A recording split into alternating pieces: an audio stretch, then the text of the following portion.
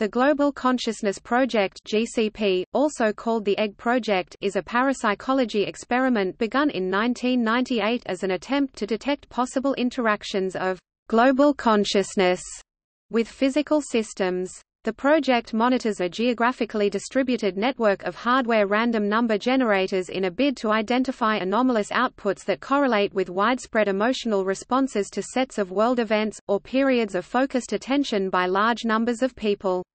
The GCP is privately funded through the Institute of Noetic Sciences and describes itself as an international collaboration of about 100 research scientists and engineers. Skeptics such as Robert T. Carroll, Claus Larsen, and others have questioned the methodology of the Global Consciousness Project, particularly how the data are selected and interpreted, saying the data anomalies reported by the project are the result of pattern matching and selection bias which ultimately fail to support a belief in psi or global consciousness. Other critics have stated that the open access to the test data is a testimony to the integrity and curiosity of those involved.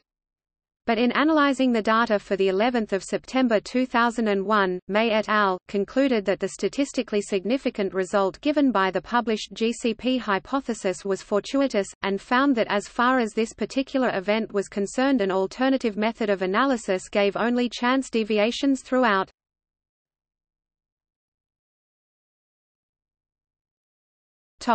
Background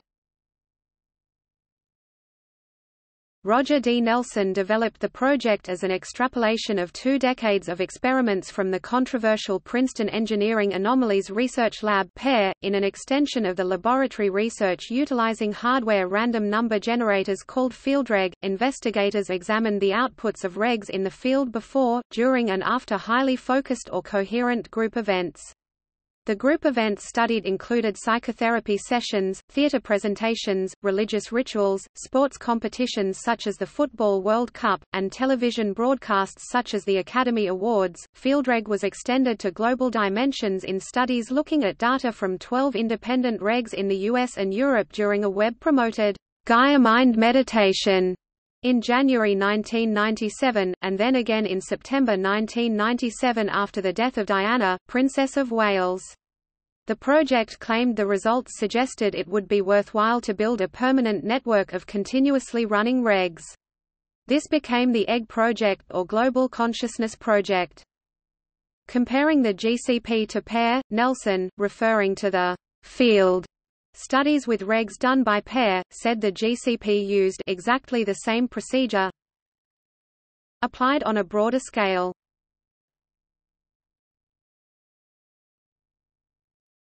Topic: Methodology The GCP's methodology is based on the hypothesis that events which elicit widespread emotion or draw the simultaneous attention of large numbers of people may affect the output of hardware random number generators in a statistically significant way. The GCP maintains a network of hardware random number generators which are interfaced to computers at 70 locations around the world. Custom software reads the output of the random number generators and records a trial sum of 200 bits once every second. The data are sent to a server in Princeton, creating a database of synchronized parallel sequences of random numbers. The GCP is run as a replication experiment, essentially combining the results of many distinct tests of the hypothesis. The hypothesis is tested by calculating the extent of data fluctuations at the time of events. The procedure is specified by a three-step experimental protocol. In the first step, the event duration and the calculation algorithm are pre-specified and entered into a formal registry. In the second step, the event data are extracted from the database and a z-score, which indicates the degree of deviation from the null hypothesis, is calculated from the pre-specified algorithm. In the third step, the event z-score is combined with the z-scores from previous events to yield an overall result for the experiment. The remote devices have been dubbed Princeton eggs, a reference to the coinage electrogaiagram, a portmanteau of electroencephalogram and Gaia. Supporters and skeptics have referred to the aim of the GCP as being analogous to detecting a great disturbance in the force.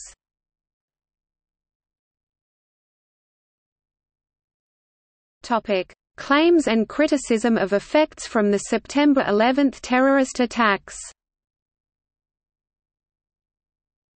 The GCP has suggested changes in the level of randomness may have occurred during the September 11, 2001 attacks at the times of the plane impacts and the building collapses, and over the two days following the attacks. Independent scientists Edwin May and James Spottiswoode conducted an analysis of the data around the 11th of September 2001 events and concluded there was no statistically significant change in the randomness of the GCP data during the attacks and the apparent significant deviation reported by Nelson and Radin existed only in their chosen time window.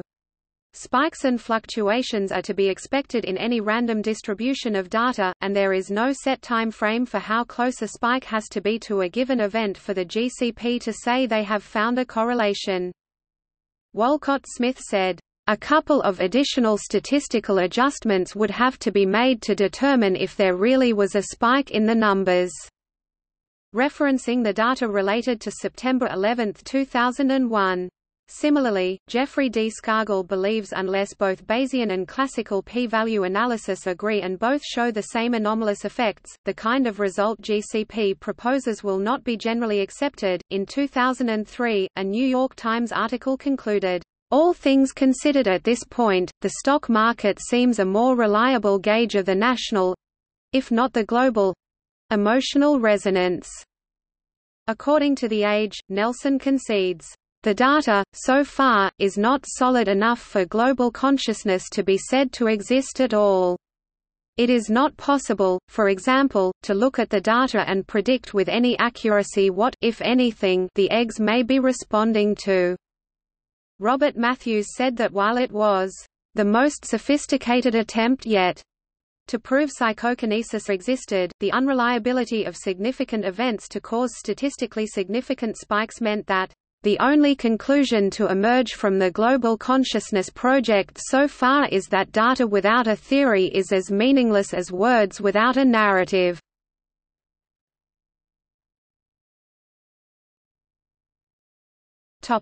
See also Random number generation Simulation hypothesis WebBot, a project to predict events using the collective unconsciousness on the Internet. Collective unconscious